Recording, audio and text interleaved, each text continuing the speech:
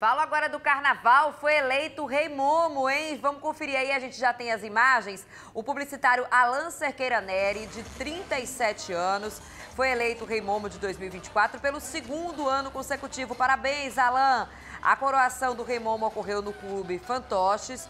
O empresário Davidson Andrade Mascarenhas, de 51 anos, e o especialista em segurança Aderbal Rodrigues de Almeida Neto, de 44, foram escolhidos aí como guardiões, hein? Tá aí a festa ontem, portanto, você acompanhando.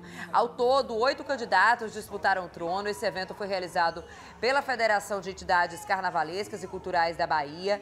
Este ano, o homenageado foi Reginaldo do Carnaval, coordenador do concurso, que desde 1985 tem se dedicado à folia momesca e também à cultura de Salvador. Tá aí, portanto, Alain Cerqueira Neri, de 37 anos, pelo segundo ano consecutivo, o Rei Momo aqui da capital baiana. A gente vai ter a entrega das chaves para ele. Claro, você vai ver tudo aqui na nossa TV Aratu. Parabéns, Alain!